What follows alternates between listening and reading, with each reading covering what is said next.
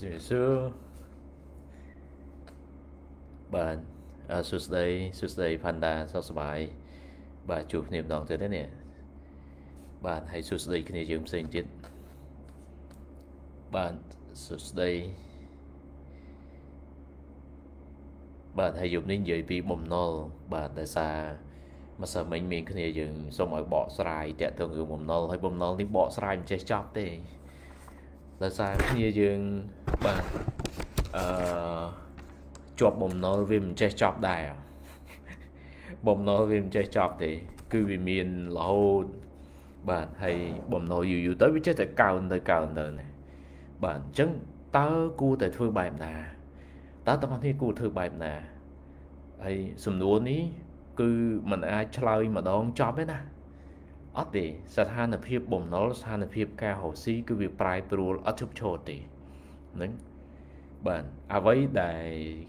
ដែលពេលខ្លះអ្វីដែលខ្ញុំនិយាយកាលពីឆ្នាំមុនមកដល់ពេលនេះពេលខ្លះគំនិតនឹងប្រើអត់កើតទេបាទចុះគំនិតវាប្រែប្រួលលឿនហ្មងប្រែប្រួលខ្លាំងណាអញ្ចឹងតើគ្នាបើមិនមាន ការគិតឲ្យវាចេញគំនិតថ្មីទេអត់បានទេបាទអញ្ចឹង ថ្ងៃនេះខ្ញុំចង់បកស្រាយនៅក្នុងក្របខ័ណ្ឌពេលដែលខ្ញុំកំពុង live នេះបាទអញ្ចឹងវានៅក្នុងខែ10អឺខែខែ11 2024បាទអញ្ចឹងគ្នាយើងដែលមើល live នេះតើចូលអ្នកខ្លះ2 3ឆ្នាំក៏នៅមើលដែរ live បាទក៏នៅតែមើល live ដែរ live ទៅដែរហ្នឹងប៉ុន្តែយ៉ាងណាតោះគ្នាអាចពិចារណាផងពេលខ្លះគំនិតដែលតោះគ្នាមើលទៅវាយូរពេកគំនិតហ្នឹងក៏វាអាចហួសរលេដែរបាទ ប៉ុន្តែយ៉ាងណាគំនិតវាគឺជាដើមទុនមួយដែលយើងយកទៅប្រើដើម្បីដោះបំណុលអញ្ចឹងណាបាទអញ្ចឹងនេះគ្នាយើងគ្នាយើងថាសេះដាច់ឲ្យយកសេះយកទៅជំនួសបាទហើយអ្នកខ្លះថានិយាយឲ្យចំហ្មងថាយកបំណុលថែមពេលដែលយើងជាប់បំណុលខ្លាំងយកបំណុលថែមបាទអឺខ្ញុំអត់ចង់ឃើញគ្នាយើងទៅផ្លូវហ្នឹងទេហ្នឹងមានហើយមាន អ្នកខ្លះគេយកបំណុលថែមទៅគេអាជីវកម្មគាត់ទៅមុខទៅជំនួញគាត់ទៅមុខទៅគាត់ដោះបញ្ហាបានប៉ុន្តែមានមនុស្សជាច្រើនយកបំណុលកាន់តែច្រើន កាន់តែវាន់កបាទបំណុលវាវាន់កនៅពេលណា វានៅពេលដែលវាចេះតែកើនណាហើយអាការប្រាក់យើងសងអត់អស់ផងអាការប្រាក់យើងសងអត់អស់ផងឥឡូវហ្នឹងវាចេះតែកើនទៅកើនទៅហើយរឿងអីយើងទប់បានទប់អត់បានទេ បាទអញ្ចឹងមានតែធ្វើម៉េចតោះគ្នាទៅរកផ្លូវផ្សេងហ្នឹងណាផ្លូវផ្សេងអាផ្លូវផ្សេងហ្នឹងបានធ្វើឲ្យយើងយប់ឡើងវាដេកលក់ស្រួលណា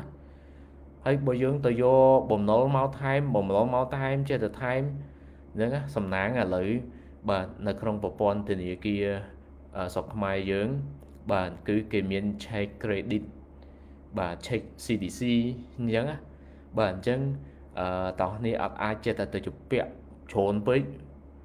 បាទហើយប្រឡំធនាគារថាយើងអត់មានជាប់ជពាក់ទេខ្ញុំសុំខ្ចីលុយមក100,000មកខ្ញុំអត់មានជពាក់នរណាទេអត់បានទេដោយសារឈ្មោះយើង នៅក្នុងប្រព័ន្ធធនាគារហើយអត់បានទេតែជពាក់ជពាក់ហើយអត់មានប្រឡំបានទេ បាទអញ្ចឹងចាយកលុយយកមកថែមខ្ញុំអត់សូវលើកទឹកចិត្តទេ បាទមុននឹងទៅយកលុយថែម មុននឹងទៅយកលុយថែម ទៅរកគំនិតសិនបានទេបាទពេលខ្លះខ្ញុំឆ្ងល់គ្នាយើងជាច្រើនយល់រួមគំនិតនៅ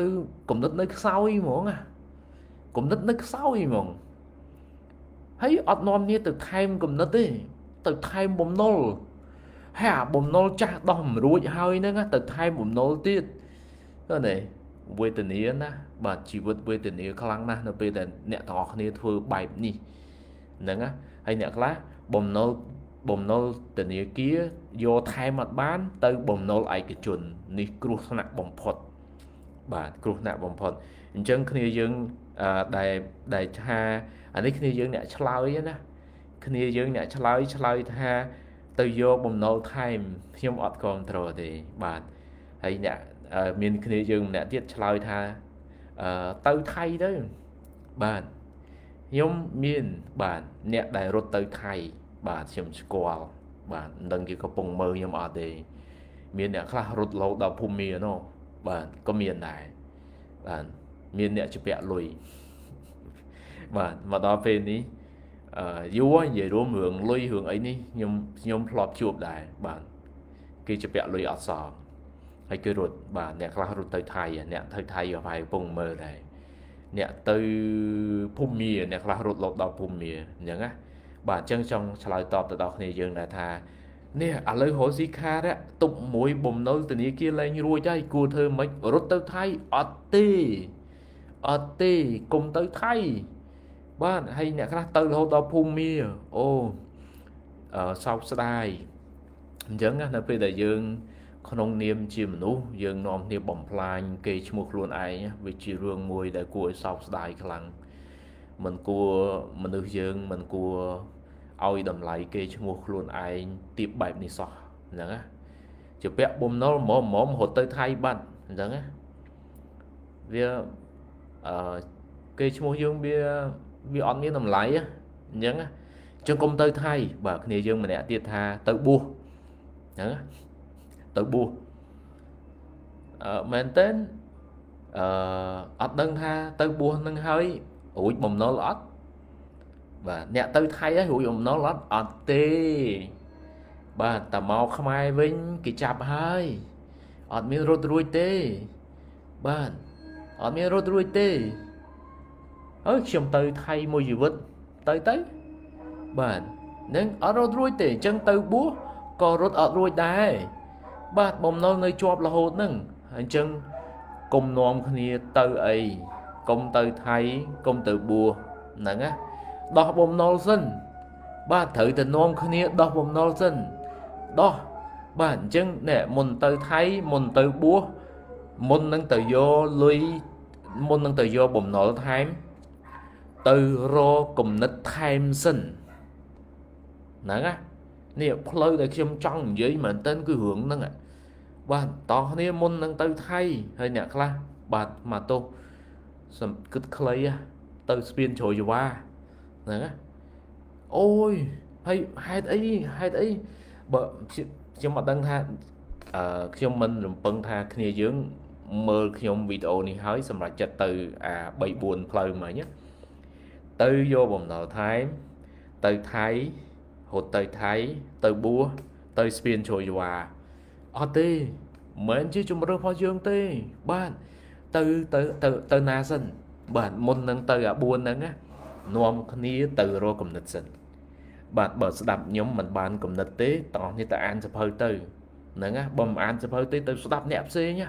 រាល់ថ្ងៃនៅលើអ៊ីនធឺណិតនេះអូយថាសបោណាគំនិតដើម្បីដោះបញ្ហាបំណុលណាច្រើនណាស់ណា បើគ្នាយើងអត់ដោះគ្នាមើលថ្ងៃថ្ងៃតាមតាដាមតាតារឿងគេអញ្ចឹងរឿងខ្លួនឯងអត់ចំណាយពេលទេនាំគ្នាចំណាយពេលទៅមើលតែរឿងគេហើយមើលរឿងគេហើយដោះបំណុលបានទេអត់ហងអញ្ចឹងណាអញ្ចឹងមែនតើខ្ញុំខ្ញុំអរគុណគ្នាយើងហើយខ្ញុំសប្បាយចិត្តឃើញគ្នាយើងបាទអ្នកជាង100នាក់នេះកំពុងមើលនេះបាទមានគ្នាយើងជាង100នាក់ដែលកំពុងមើលតោះនេះជួយ share ហើយហៅគ្នាយើងចូលមើលផងអញ្ចឹងណាជាពិសេស អឺបើសិនបើទាំងអស់គ្នាមានបងប្អូនណា ដែលកំពុងជាប់បំណុលច្រើនខ្ញុំនិយាយក្នុងវីដេអូនេះដើម្បីឲ្យគ្នាយើងបានគំនិតណាបាទខ្ញុំមិនខ្ញុំមិនថាគំនិតដែលខ្ញុំចែកនេះវាជាគំនិតល្អបំផុតទេណាអត់ទេប៉ុន្តែខ្ញុំជឿថាសុខខ្មែរយើងយុវជនយើងត្រូវតែនាំគ្នាអឺស្ដាប់បាទយើងត្រូវការគំនិតអញ្ចឹងអញ្ចឹង បាទមិនថាគំនិតខ្ញុំល្អអត់ចោះណាអត់ទេត្រូវការគំនិតអញ្ចឹងឲ្យទៅស្ដាប់អ្នកផ្សេងទៅឲ្យបានគំនិតគំនិតនឹងយកមកដោះបញ្ហាខ្លួនឯងឃើញទេបាទត្រូវតែចំណាយពេលដើម្បីឲ្យគំនិតយើងវារីកចម្រើនអញ្ចឹងដូចខ្ញុំនិយាយមិញអញ្ចឹងកុំតន់ណាទៅរត់ទៅថៃកុំតន់អាទៅស្ពានជ្រោយវ៉ាកុំតន់អាទៅបួសកុំតន់អាទៅយកបំណុលថែមថែមគំនិតឲ្យខ្លួនឯងសិនមើលមែនទេ នាំនេះថែមគំនិតឲ្យខ្លួនឯងសិនណាហើយគំនិតមានច្រើនណាស់ណាបាទដូចខ្ញុំទៅសេនៅក្នុងសភៅមេដែកអឺខ្ញុំបានបញ្យល់និយាយរួមគំនិតជាច្រើនដែលធ្វើឲ្យយើងរឹងមាំអ្នកទាំងអស់គ្នារឹងមាំហ្នឹងណាខំប្រឹងធ្វើការខំប្រឹងអភិវឌ្ឍខ្លួនឃើញទេហើយដល់ពេលអញ្ចឹងវាអត់តល់ណាមែនតើយើងពេលដែលយើងជាពាក់បំណុលច្រើនណាមិនមែនយើងតល់លុយទេយើងទាល់កំណត់ ដល់នេះត្រូវចាំពាក្យខ្ញុំនិយាយហ្នឹងណាយើងទាំងអស់គ្នាដែលកំពុងខ្វះលុយហ្នឹងមិនមែនទាល់លុយទេគឺគឺទាល់កំណត់តាបាទហើយបើទាំងអស់គ្នាដឹងថាទាល់កំណត់ដែរមិនកំណំនេះអាននេះយប់យប់ឡើងមិនកំណំនេះអានហើយឥឡូវហ្នឹងខ្ញុំខ្ញុំចាប់ដើមបក live ឡើងវិញហើយអញ្ចឹងណាអញ្ចឹងសូមតោះគ្នាអាសាមើល live ហើយ share អ្នកមួយផងមើលអ្នកដែលមើលនេះជាង100អ្នកនេះមើល share អ្នកមួយផងមើលបាទខ្ញុំ ខ្ញុំចង់ឃើញគ្នាយើងផ្សេងចិត្តបានស្ដាប់ដែរអញ្ចឹងណាបាទអញ្ចឹងថ្ងៃនេះខ្ញុំនឹងលើកឡើងរឿងអ្នកកំពុងរកស៊ីខាតអឺបដោតទៅលើអឺពីរប្រភេទទី1អ្នកដែលរកស៊ីខាតហើយជាអ្នកថ្មីថ្មោងទី2គឺជាអ្នករកស៊ីខាតហើយរកស៊ី5ឆ្នាំហើយអញ្ចឹងណាអូនិយាយរួមស្ដាប់ឲ្យចប់ជាពិសេសអ្នកដែលរកស៊ីយូរហើយនៅខាត អ្នកដែលរកស៊ីយូរហើយនៅខ្វះលុយបង់ធនាគារហ្នឹងណាបាទត្រូវតែនាំគ្នាកែខ្លួនបាទហើយដើម្បីកែខ្លួនបានតោះនេះត្រូវការកំណត់ដែលខ្ញុំនិយាយក្នុងវីដេអូនេះហ្នឹងណាបាទហើយកំណត់ខ្ញុំអត់គ្រប់គ្រាន់ទេតោះនេះទៅយកកំណត់អ្នកផ្សេងទៀតបាទកំណត់ណាកំណត់គឺអស្ចារ្យមែនទែនមានសភៅមួយក្បាលបាទនេះជាសភៅថ្មី អត់ទាន់មាននរណាបានអានទេក្រៅពីអ្នកនិពន្ធហើយនឹងខ្ញុំបាទនៅស្រុកខ្មែរមានតែ2អ្នកទេដែលបានអានទី1អ្នកនិពន្ធដែលទៅសេសភៅនេះផ្ទាល់តែម្ដងអតីតចាប់ក្រហមបាទអតីតកូនចៅចាប់ក្រហមហើយខ្ញុំជាអឺមេគាត់បាទបានអានមុនអ្នកទាំងអស់គ្នា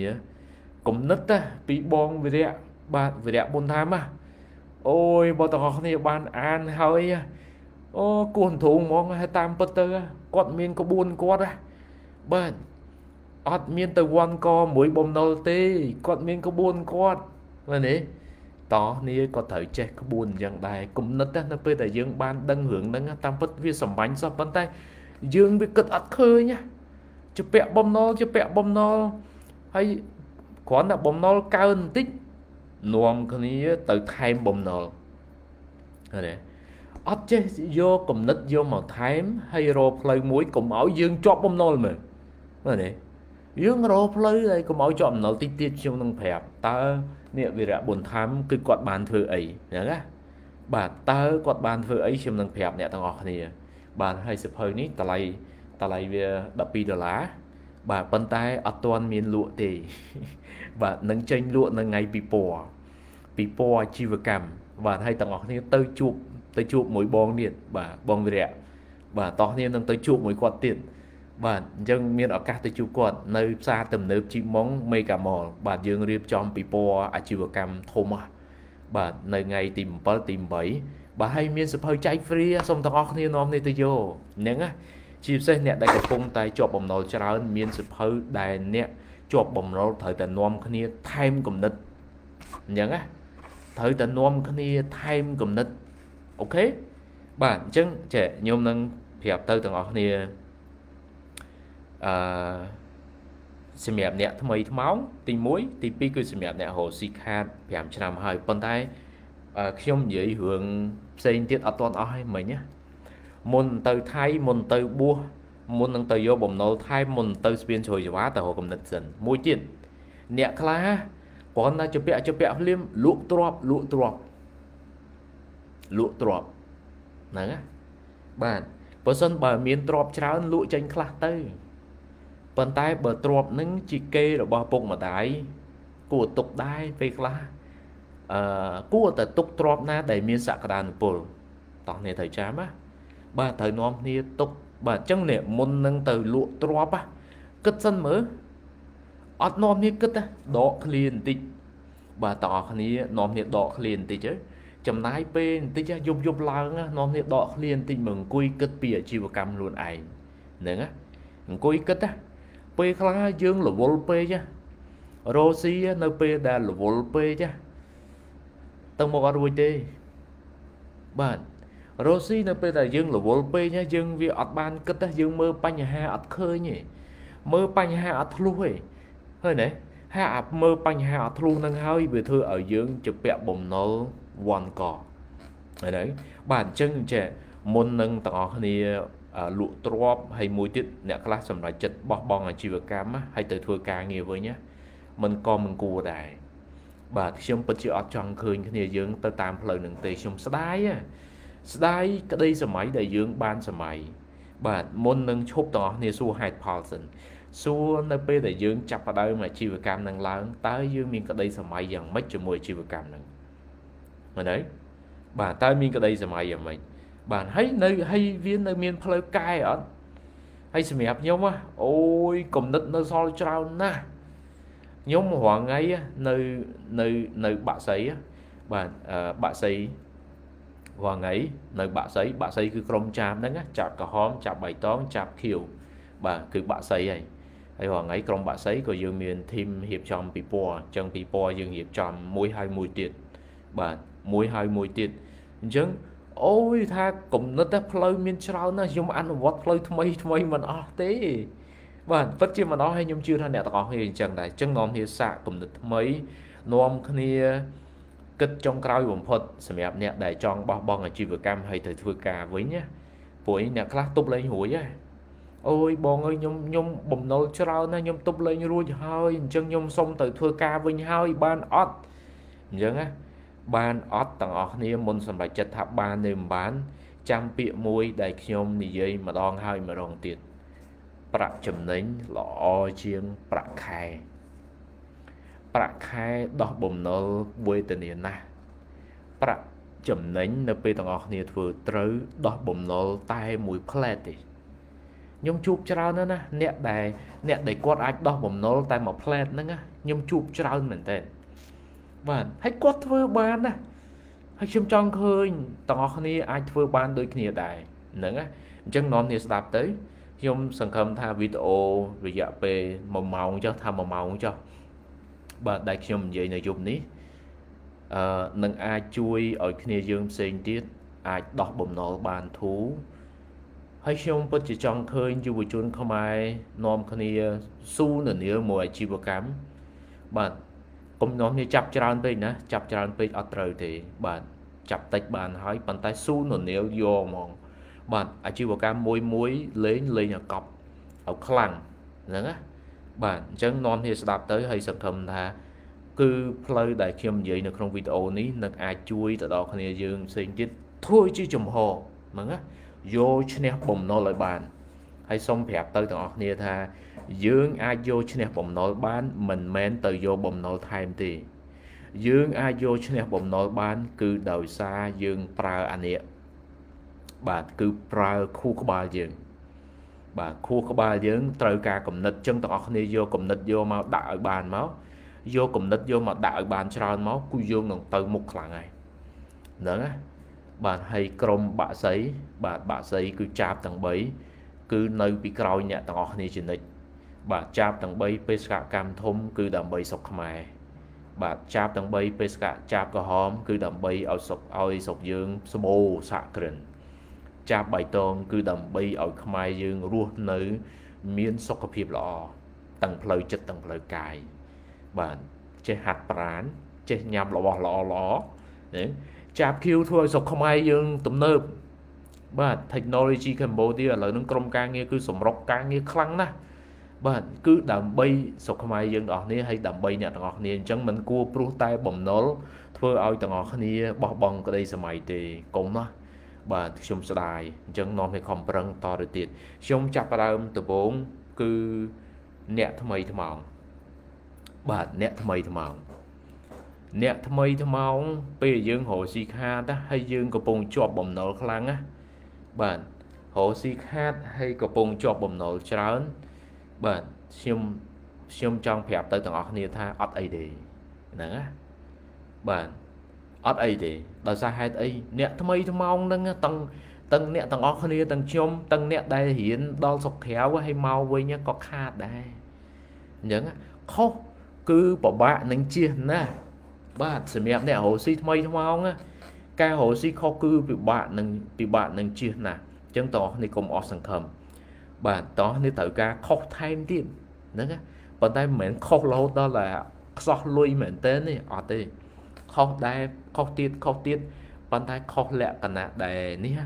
ខុសលក្ខណៈដែលយើងអស់លុយតិចបាទយើងត្រូវចេះខុសឲ្យវៃឆ្លាតអញ្ចឹងយើងមិនមែនចេះតែខុសតាមចិត្តទេ យើងមិនមែនតែខុសតាមចិត្តទេអត់ទេប៉ុន្តែគ្រាន់ថាសម្រាប់អ្នកដែលថ្មីថ្មោងគឺខ្ញុំចាត់ទុកថារស់ស៊ីក្រោម5ឆ្នាំ អ្នកថ្មីថ្មោងណាបាទតោះនេះត្រូវមានជំនឿចិត្ត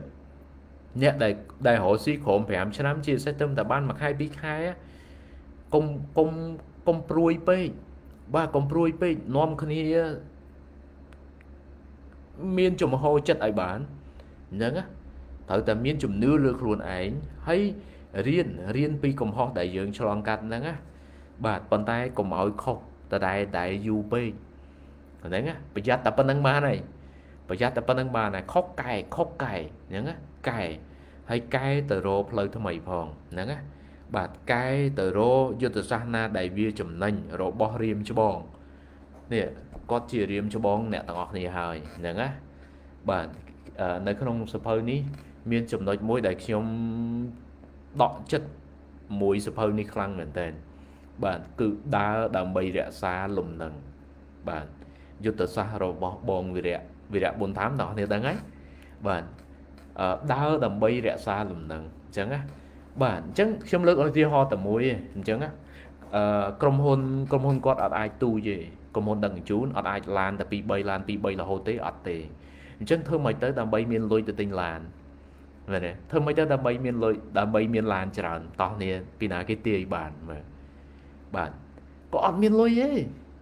គាត់អត់មានលុយទេប៉ុន្តែគាត់ធ្វើមិនដើម្បីមានឡានច្រើនឥឡូវហ្នឹងឡានក៏រាប់ពាន់អញ្ចឹងបាទ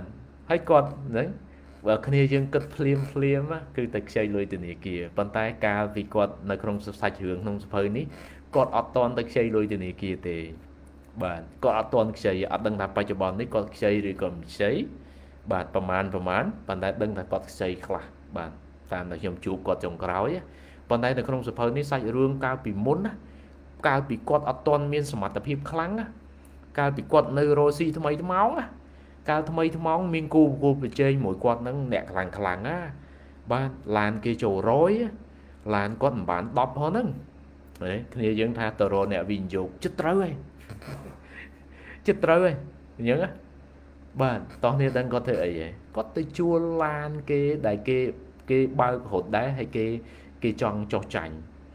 បាទគេចង់ចោះចាញ់គេចង់ចោះចាញ់គាត់ជួលឡានគេមើលតោះនេះមើលបើថាទៅទិញថ្លៃណាឡានក្រុងណាឡានក្រុងទៅទិញថ្លៃប៉ុន្តែគាត់មានទិញណាគាត់ជួលបាទគាត់ជួលឲ្យគាត់ចេញពីនឹងទៅបរិចេញពីនឹងទៅមកតោះនេះឃើញហ៎គាត់ដើរដើម្បីរក្សាលំនឹងនៅក្នុងការគូប្រជែងមួយក្រុមហ៊ុនធំធំតោះនេះឃើញអត់បាទហើយខ្ញុំស្រឡាញ់មែនទែនតោះនេះឃើញគំនិតទេ គំនិតវាអស្ចារ្យអញ្ចឹងហ៎ហើយទៅពេលគ្នាយើងគិតអត់ឃើញទេឲ្យតែខ្វះលុយដឹងតែរហូតធនាគារឲ្យតែខ្វះលុយដឹងតែរហូតធនាគារឲ្យតែខ្វះលុយដឹងតែលក់ទ្រព្យបាទទេហើយទៅពេលជពាក់លុយធនាគារសងមិនរួចអាងអីរត់ទៅថៃហ្នឹងណា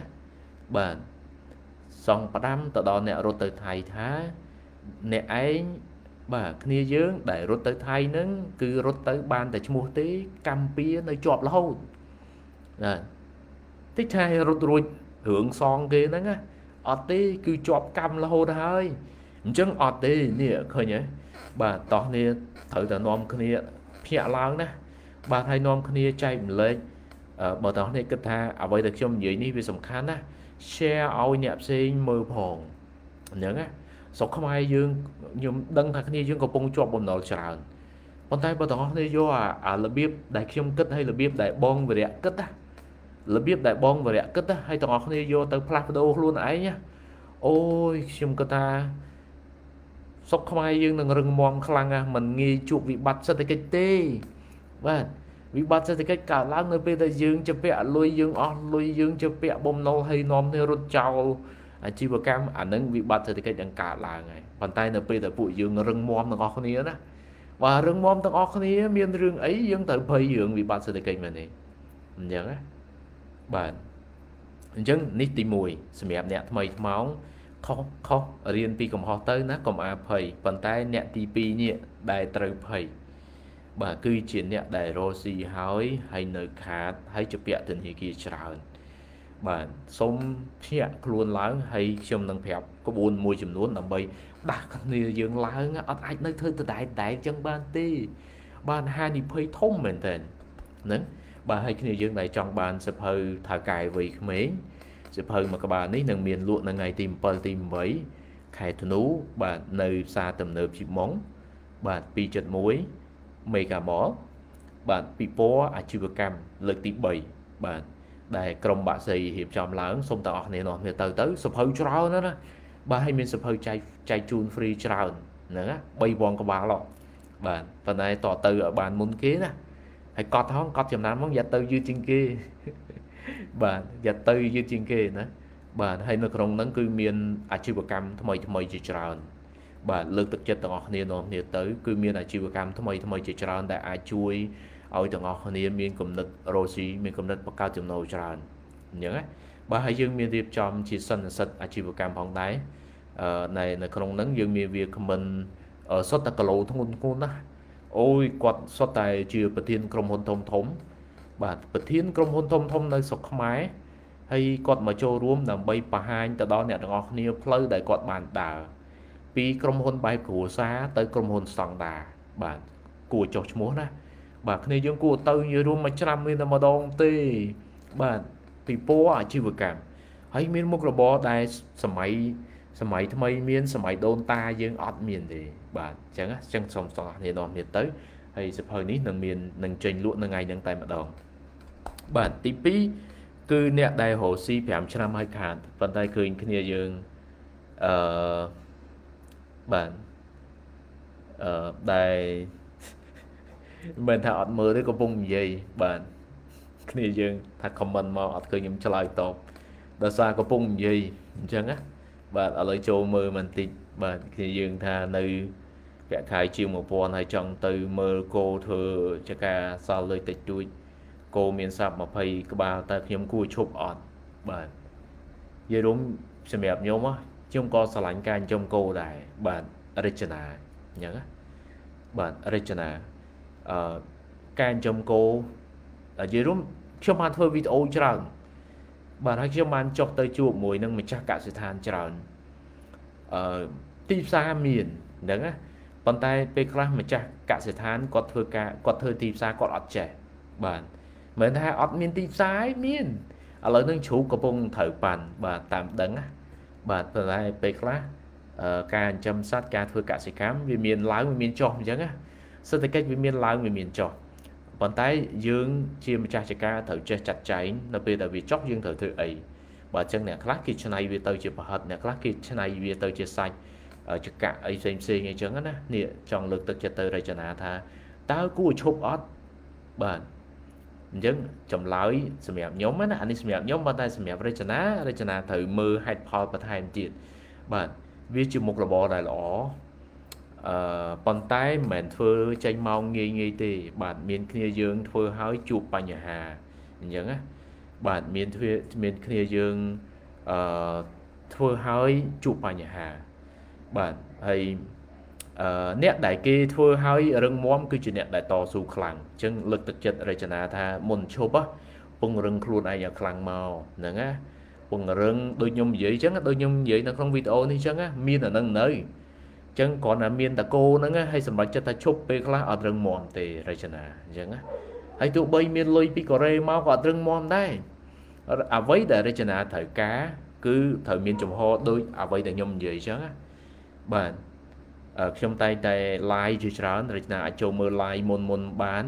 ខ្ញុំបានសរសេរសភៅជាច្រើនរចនាអាចមើលសភៅទាំងអស់នឹងបានមើលដើម្បីឲ្យខ្លួនឯងមានអាគំនិតជាមូលដ្ឋានណា ជាមូលដ្ឋាននៅពេលខាត់គេធ្វើមិននៅពេលដែលខ្វះទុនគេធ្វើមិនអញ្ចឹងដោយត្រូវកែវ័យក្មេងមិនអញ្ចឹងពេលដែលគាត់ខ្វះទុនទិញឡានក្រុងគាត់ធ្វើមិនឃើញទេពេលដែលរចនាខ្វះលុយរចនាធ្វើមិនឃើញអត់បាទហ្នឹងទាំងអស់ហ្នឹងបាទអញ្ចឹងសូមទាំងអស់គ្នាយកគំនិតធ្វើជាដើមទុនអញ្ចឹងរចនាថាធ្វើការពីកូរ៉េមកសល់ទុនខ្លះហើយមានគោ20ក្បាលហ្នឹងគួរមកគួរមកអត់ គួរមកគួរមកខ្មែរអត់គួរមកចាប់ដើមមុខរបរនឹងអត់ខ្ញុំឲ្យរចនាទៅមើលខ្លួនឯងមួយទៀតតើមានគំនិតធ្វើជាដើមទុននៅបើនៅទេកសាងគំនិតសិនមកហើយចាំមកតាមក្រោយអូខេបាទហើយថារីសំណួរវាយនៅខាងលើ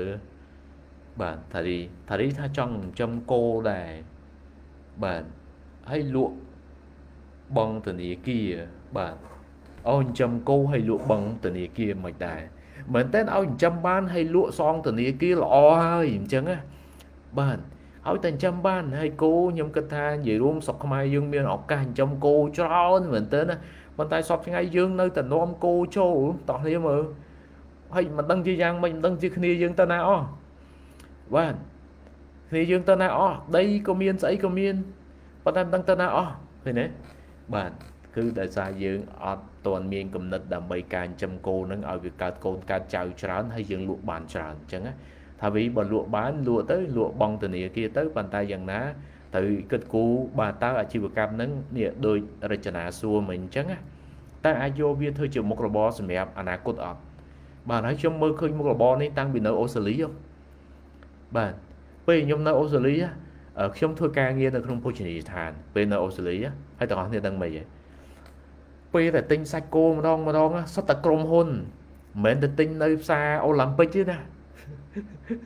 នមែនទៅទិញផ្សារផ្សារដើមគោទេមិនមែនទេបាទសុទ្ធតែមានក្រុមហ៊ុនគុតគង់ដូច Lee Food ចឹងបាទតោះគ្នាស្គាល់ក្រុមហ៊ុនខ្មែរយើង Lee Food នៅស្រុកខ្មែរស្រៀងគ្នាចឹងហើយខ្ញុំមើលឃើញអាហ្នឹងហើយហើយគេយកសាច់គោមកគេដាក់ឈ្មោះយីហោនៅលើគោហ្នឹងមក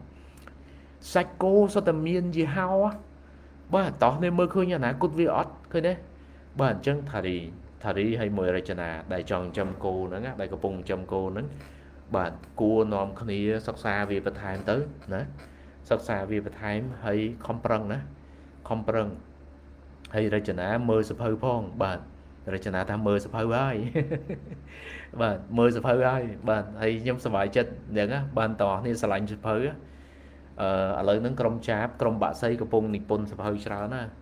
បាទនាំគ្នាទៅថ្ងៃ7ថ្ងៃ8ហ្នឹងទៅមើលសភៅទាំងអស់គ្នាណាបាទកំពុងនិពន្ធសភៅច្រើនណាស់ហើយគំនិតល្អល្អមែនទែននៅក្នុងសភៅហ្នឹងណាហើយឥឡូវនឹងកំពុងរកផ្លូវបែបណាដើម្បីទាញមនុស្ស17លាននាក់ឲ្យស្រឡាញ់សភៅបាទដោយសារហេតុអីសភៅទាំងអស់នឹងវាសំខាន់ពេកក្រៃអញ្ចឹងណាវាធ្វើឲ្យរចនាវាធ្វើឲ្យថារីទៅចិញ្ចឹមគោបានណា បាទមិនមែនលុយមកពីកូរ៉េទៅចិញ្ចឹមគោបានទេណាមិនមែនទេគឺថារីហើយរចនាត្រូវតែមានគំនិត បាទគំនិតដូចខ្ញុំនិយាយដូចបងវិរៈអញ្ចឹង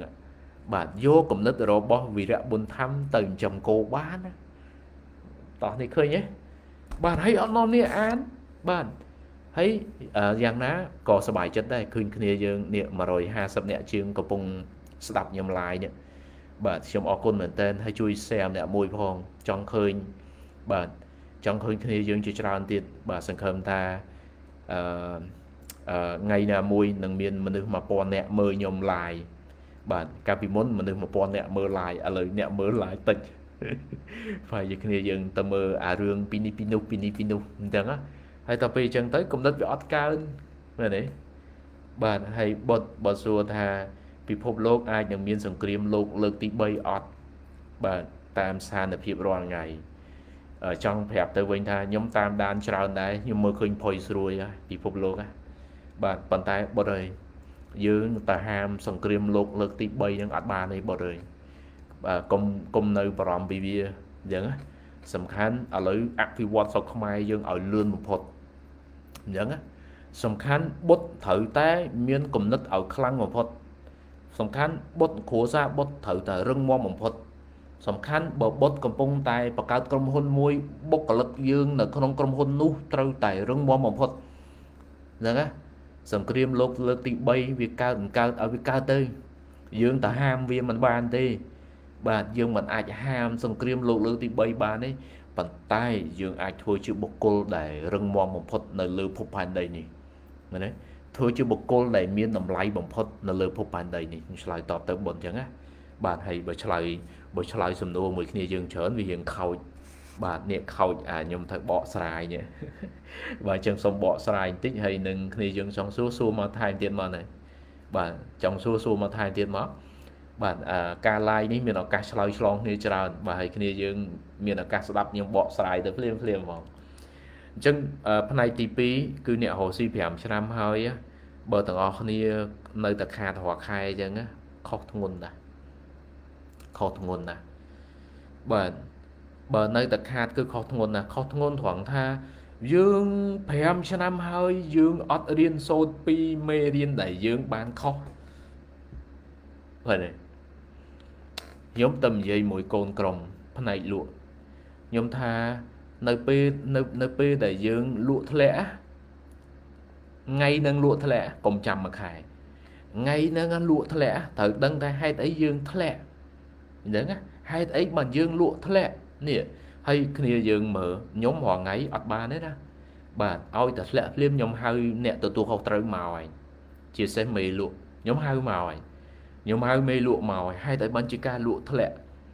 បាទហើយគ្នាយើងរកស៊ី5ឆ្នាំហើយរាល់ខែនៅខាត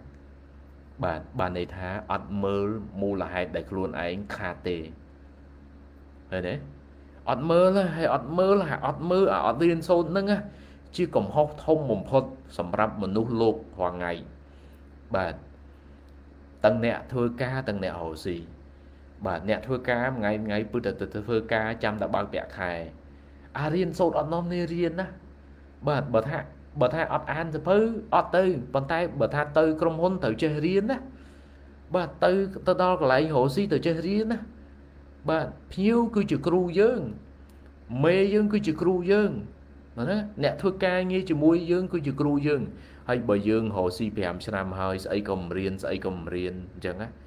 ដើរ5ឆ្នាំហើយនៅតែដួលវាមិនគួរមែនទេបាទអញ្ចឹងចេះគ្នាយើងដែលកំពុងរកស៊ីខាត5ឆ្នាំហើយហើយទប់មួយបំណុលលែងរួចសម្រាប់ខ្ញុំបើទាំងអស់គ្នាអត់ទៅយកគំនិតថ្មីយកមកដាក់ខ្លួនទេគួរឈប់ទៅហ្នឹងណា បាទខ្ញុំលើកទឹកចិត្តឲ្យឈប់បើអត់ឈប់ទេពិបាកខ្លាំងណាអស់លីងហ្មងដឹងថាលក់ទ្របអស់ហើយអ្នកខ្លះបាទហើយបើអត់នាំគ្នារៀនអត់នាំគ្នារៀនអញ្ចឹងវាមិនទៅយកមកពីណាមិនយកលុយទ្របឪពុកម្ដាយយកមកសងបាទមួយខែខាត5000មួយខែខាត5000ហើយនៅទុកអាខាត5000ហ្នឹងបាទហើយទៅខ្ចីលុយធនាគារជាពាក់ការទៀត ជាពាក់ការត្រូវសងធនាគារអញ្ចឹងមិនទៅលក់ដីថែមទៀតមិនទៅលក់ផ្ទះថែមទៀតបាទហើយផ្ទះហ្នឹងបើផ្ទះអ្នកទាំងអស់គ្នាអត់អីទេបាទផ្ទះហ្នឹងផ្ទះតែយើងរកបានអត់អីទេហើយបើយើងមាន10ផ្ទះយើងលក់ចេញមកផ្ទះអត់អីទេបាទហើយផ្ទះហ្នឹងផ្ទះគេហើយយើងលក់អាហ្នឹងចោលទៀតធ្វើទៅម៉េចហ្នឹងនេះអត់ទេហ្នឹងណាបាទអញ្ចឹងសូមខ្ញុំអត់ដឹងថាគ្នាយើងប្រហែលអ្នកអ្នកកំពុងស្ដាប់ជាង150នាក់នេះ តើប្រហែលអ្នកដែលកំពុងតែ ឆ្នាំទី5ហើយហើយនៅតែខាតណាហើយនៅតែជាពាក់បំណុលធនាគារណាបាទបានន័យថាខុសធ្ងន់ហើយបាទអញ្ចឹងទៅរកកំណត់ដើម្បីដោះដោះឲ្យឲ្យលឿនអញ្ចឹងណាទៅរកកំណត់ទៅទៅរកកំណត់យកមកដោះឲ្យលឿនខ្ញុំលើកទឹកចិត្តទាំងអស់នេះអានសភៅ21គោលការណ៍ណាអ្នកសម្រាប់ ខ្ញុំខ្ញុំជឿថាអ្នកនោះប្រកាសជាខ្វះគោលការណ៍នៅក្នុងការរស់ស៊ីអ្នកដែលអឺអឺរស់ស៊ីជាង5ឆ្នាំហើយហើយវាអត់ឡើងរស់ស៊ីជាង5ឆ្នាំហើយរស់ស៊ីយូរទៅនៅតែជពាក់ជពាក់ទៅជពាក់ទៅណាបើគេជពាក់យើងអត់អីទេអញ្ចឹងប៉ុន្តែបើយើងជពាក់គេច្រើនណាបានន័យថាយើងខុសហើយមើលទេបើយើងខុសហើយសូមទាំងអស់គ្នា ភ្ញាក់ឡើងណាទៅរកកំណត់ណា ខ្ញុំលើកទឹកចិត្តឲ្យអានសភៅ21គោលការណ៍នៅក្នុងហ្នឹងគឺមានគោលការណ៍ដើម្បីដោះបញ្ហាហ្នឹងបាន បាទហើយបើថាអត់ទេអើយអឺបងអើយខ្ញុំអត់ចេះអានសភៅទេអញ្ចឹងណាបងអើយខ្ញុំមិនដឹងរកគំនិតមកពីណាទេឈប់ទៅបាទឈប់ទៅឈប់ឈប់សិនណាបាទឈប់សិនអាកាលណាយើងឈប់សិនយើងឈប់សិនវាស្មើនឹងយើងទុកឈាមកុំឲ្យវាហូរហ្នឹងណាយើងទុកឈាមកុំឲ្យវាហូរបាទ ហើយតែទុកឈាមកុំឲ្យវាហូរបានអានឹងមិនយើងមានលុយដើម្បីទៅសងធនាគារបានតោះនេះចឹងខ្ញុំបកស្រាយប៉ុណ្ណឹងខ្ញុំសង្ឃឹមថាអ្នករស់ស៊ីថ្មីថ្មោងកុំតរអភ័យហើយអ្នករស់ស៊ី5ឆ្នាំឡើង ដល់ពេលទៅភ័យហើយអញ្ចឹងណាបាទអញ្ចឹងនាំគ្នាប្រឹងប្រែងឡើង បាទប្រឹងប្រែងដែលធំជាងគេបំផុត គឺទៅរកគំនិតយកមកដោះណាបាទហើយចុងក្រោយភិរុនសួររឿងស្ថានភាពសេដ្ឋកិច្ចនេះតើយើងគួររកស៊ីមុខរបរអី ខ្ញុំធ្លាប់និយាយនៅក្នុងវីដេអូច្រើន មុខរបរដែលទាំងអស់គ្នាគួររកស៊ីគ្រប់សម័យកាលណាមិនខ្វល់ថាសេដ្ឋកិច្ចឡើងខ្ញុំនិយាយតាំងពីកូវីដមិនមិនខ្វល់ថាសេដ្ឋកិច្ចកំពុងតែលំបាកបែបណាទេ បាទគឺសូមរកស៊ីមុខរបរដើមទុនតិចបាទនេះមាននៅក្នុងសភៅមួយក្បាលនេះបាទមុខរបរដើមទុនតិចនេះឆ្លើយតបទៅភិរុនណា គូរកស៊ីមុខរបរអីគឺមុខរបរដើមទុនតិច បាទជាមុខរបរដែលគ្នាយើងគួររកស៊ីបាទមុខរបរដែលធ្វើឲ្យយើងអត់ព្រួយរឿងខាតណាបាទឲ្យដើមទុនតិចនៅពេលយើងខាត មានអីទៅព្រួយមែនទេបាទហើយគ្នាយើងសួរទៀតថាហើយអាដើមទុនតិចនឹងមានមុខរបរអីខ្លះខ្ញុំនឹងរើសប្រហែលជា10យកមកបង្ហាញអ្នកទាំងអស់គ្នាឆាប់ឆាប់ហើយខ្ញុំនឹងធ្វើបទបង្ហាញនៅក្នុងសិនសិទ្ធអាជីវកម្មលើកទី3 បាទនៅក្នុងពិព័រណ៍នៅថ្ងៃទី8ខែធ្នូនៅផ្សារទំនើបជីបម៉ុងផងដែរបាទហើយគ្នាយើងបើអត់មានពេលចុះសកចុះនៅក្នុងសន្និសិទទេតោះនេះគួរមកថ្ងៃ7ថ្ងៃ7យើងបើកពិព័រណ៍បាទមកមើលមកមានមុខរបរច្រើនមែនទែនណាខ្ញុំចង់ឃើញគ្នាយើងចេះកែច្នៃដើម្បីកែច្នៃមុខរបរអាដើមទុនតិចនឹងបានច្រើនតតោះនេះមកមើលគេសិនអញ្ចឹងណាបាទអញ្ចឹងឆ្លើយទៅភិរុនប៉ុណ្ណឹងចុះហើយអឺ រឿនរឿនថាតើជួលផ្ទះគេនឹងខ្ចីលុយធនាគារទិញកន្លែងរកស៊ីមួយណាល្អជាងខ្ញុំតែងតែនិយាយរឿងប្រាក់ចំណេញល្អជាងគេបំផុតល្អជាងប្រាក់ជួលទៀតណាបាទជួលផ្ទះតោះនេះមើលផ្ទះអឺខ្ញុំសង់ផ្ទះផ្ទះអស់រាប់សិបម៉ឺនប៉ុន្តែជួលបាន2 3000តោះនេះមើល ប៉ុន្តែអាជីវកម្មពេលខ្លះនៅពេលដែលយើងនេះខ្ញុំមកដឹងថាធ្វើអីណាមិនប្រកាសថាអាជីវកម្មទាំងអស់សិតតែបានទេប៉ុន្តែរឿនត្រូវដឹងថាតើកន្លែងរកស៊ីហ្នឹងមុខរបរហ្នឹងមុខរបរអីចឹងឲ្យរឿនណាមុខរបរឲ្យតែមុខរបរល្អពេលខ្លះយើងចំណាយលុយត្រឹម20000នេះបើមួយខែបាន2000ណាអញ្ចឹងណាអញ្ចឹងប្រាក់ចំណេញពេលខ្លះវាអត់សមហេតុផលទេបាទហើយសម្រាប់អ្នកប្រកែសូមទាំងអស់គ្នាយកប្រាក់ចំណេញទៅកុំយកប្រាក់ជួល ហ្នឹងណាបាទនេះគ្នាយើង166នាក់កំពុងមើលខ្ញុំនេះបើទាំងអស់គ្នាប្រកែគុំយកប្រាក់ជួលអូយជួលផ្ទះនឹងប្រាក់នឹងវាអត់ច្រើនទេបាទយកប្រាក់ចំណេញបានវាច្រើនហ្នឹងណាបាទអញ្ចឹងឆ្លើយខ្លីទៅរឿនប៉ុណ្ណឹងចុះបាទហើយយូរីថាខ្ញុំខុសហើយបាទកុំកុំអស់កុំអស់សង្ឃឹមណាយូរីបាទព្យាយាមមើលវីដេអូខ្ញុំខ្ញុំលើកទឹកចិត្តច្រើនណាហើយមានកំណត់ច្រើនណាណាបាទ មានកំណត់ច្រើនណាបាទហើយរស្មីសួរសភៅសភៅហ្នឹងតម្លៃប៉ុន្មានបាទសភៅនេះតម្លៃ12ដុល្លារបាទមានលក់នៅតាមនាគារណាឬក៏អាចតម្លាក់លេខទូរស័ព្ទមួយទៅបាទហើយក្រុមការងារនឹងតាក់ទងទៅហើយបាទអឺរស្មីហើយសភៅនេះក៏12ដែរប៉ុន្តែអត់ទាន់មានលក់អីសភៅនេះលក់នៅថ្ងៃទី7ទី8ខែធ្នូបាទនៅថ្ងៃពិព័រណ៍ណាពិព័រណ៍អាជីវកម្មលើកទី3ហើយ បាទសោមាថាខ្ញុំរក6ឆ្នាំហើយហើយកំពុងមើលសភៅបាទ3ក្បាលខ្ញុំនឹងទិញសភៅមើលបន្តទៀតបាទអរគុណសោមាបាទឲ្យជូនពរឲ្យរកផ្លូវឃើញណាបាទហើយជួយខ្ញុំចោះនឹងឃើញគង់ថ្ងៃណាមួយឲ្យតែបានគំនិតដែលដែលខ្ញុំគិតថាវាត្រូវបាទហើយអ្នកខ្លះរកបាទអឺជីងបាទជីងរក10ឆ្នាំហើយរកធ្លាក់តាំងពី2020មកបាទដល់ពេលហើយជីង 2020រហូតដល់2024ជិត2025ហើយជីងដល់ពេលហើយដល់ពេលជីងដែលត្រូវផ្លាស់ប្ដូរអីមួយផ្សេងមិញខ្ញុំនិយាយរឿងមេសាយលុនបាទគាត់ផ្លាស់ប្ដូរគាត់ផ្លាស់ប្ដូររបៀបញ៉ាំកាហ្វេតោះនេះមើលគាត់ធ្លាប់ញ៉ាំកាហ្វេនៅក្នុងហាងអង្គុយញ៉ាំឥឡូវគាត់លែងញ៉ាំហើយគាត់ខ្ចប់អញ្ចឹងណាជីងចាស់ជីងទៅផ្លូវក្នុងការផ្លាស់ប្ដូរណាបាទហើយសាវលីសួរថាមុខរបរកិនស្រូវលក់អង្គល្អអត់ ខ្ញុំទៅតែនិយាយគ្នាថាអូយើងស្ដាយមែនតើនិយាយគ្នាពេលទៅម៉ាឡេបាទខ្ញុំខ្ញុំអឺអឺលពូម្នាក់ថាស្ដាយលពូគាត់គាត់អ្នកអឺក្រុមហ៊ុនដឹកជញ្ជូនណាបាទគាត់មានឡានធំធំច្រើនណាគាត់ថាស្ដាយដល់យើងផលិតស្រូវបានប៉ុន្តែស្រូវទៅស្រុកក្រៅអស់លីងយើងអត់បានចេញអង្គយើងទៅស្រូវបាទអញ្ចឹងនិយាយប៉ុណ្ណឹងប្រហែលជា សៅលីដឹងណាមុខរបរកិនស្រូវយកអង្គហ្នឹងមិនដែរបាទបាទហើយជីងថាខ្ញុំផ្លាស់ប្ដូរច្រើនហើយអូល្អបាទជីងហើយសង្ឃឹមថាជីងនឹងផ្លាស់ប្ដូររហូតដល់ខ្លួនឯងមានមានផ្លូវបាទសម្រាប់ធ្វើម៉េចកុំឲ្យការរស់ស៊ីធ្លាក់ទៀតណាត្រូវទៅកើនបាទហើយមានលក់សភៅទេបាទពិសិដ្ឋមានច្រើនច្រើនបាទសភៅច្រើនសភៅតាក់ទងគំនិត អឺអភិវឌ្ឍខ្លួនសភៅតាក់ទងរឿងមុខរបរសភៅតាក់ទងរឿងការលក់សភៅតាក់ទងរឿងការដឹកនាំសភៅតាក់ទងរឿងការចាត់ចែងលុយមានច្រើននៅបាក់សីបាទបាក់សីហើយអាចទៅមើលនៅតាមបណ្ណាគារបាន បាទអាចទិញនៅតាមបណ្ណាគារបានណាបាទបណ្ណាគារណាក៏មានដែរសភៅរបស់ចាប់ក្រហមប្រាប់ពួកគាត់ចឹងទៅឬក៏បាក់សីអញ្ចឹងណាបាទឈ្មោះក្រុមហ៊ុនគឺបាក់សីហើយបើអាចទេទៅថ្ងៃទី7ទី8ទៅមើលសភៅច្រើនណាស់បាទ ថ្ងៃទី7ទី8គឺមានសភៅច្រើនហើយមានសភៅថ្មីចេញប្រហែលជា5ក្បាលនៅក្នុងហ្នឹងមានសភៅនេះមួយក្បាលដែរបាទសភៅបងវរៈបាទនេះជាសភៅថៅកែវ័យក្មេងបាទរបស់វរៈបុនថាំបាទហើយមានសភៅកសាង page បាទគ្នាយើងដែលខ្សោយ Facebook ណានាំគ្នាទិញសភៅកសាង page អានទៅបាទអត់ខកចិត្តទេហ្នឹងណា តោះនេះនឹងបកាយជាមុននឹងរោចំណូលបានច្រើនច្រើនមុនត្រូវតែអភិវឌ្ឍខ្លួនណាបាទហើយអរគុណទាំងអស់គ្នាដែលបានចូលរួមសួរយ៉ាងច្រើនហើយខានជួបគ្នាយើងជាច្រើនបាទនឹកបាទនឹកគ្នាយើងបាទដោយសាររវល់ពេក